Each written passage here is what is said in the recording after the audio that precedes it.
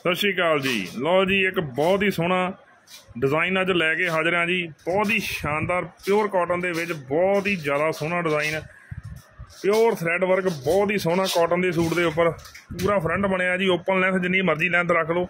ਨਾਲ ਹੈਗਾ ਜੀ ਇਹਦੇ ਕੋਟਾ ਡੋਰੀਆ ਦੁਪੱਟਾ। ਬਹੁਤ ਸੋਹਣਾ two side work class design ਹੈਗਾ ਜੀ ਇਹ ਕਲਾਸ ਬਹੁਤ ਹੀ ਸ਼ਾਨਦਾਰ ਕਲਰ ਇਹ ਚ ਲੈ ਕੇ ਹਾਜ਼ਰ ਹਾਂ ਜੀ।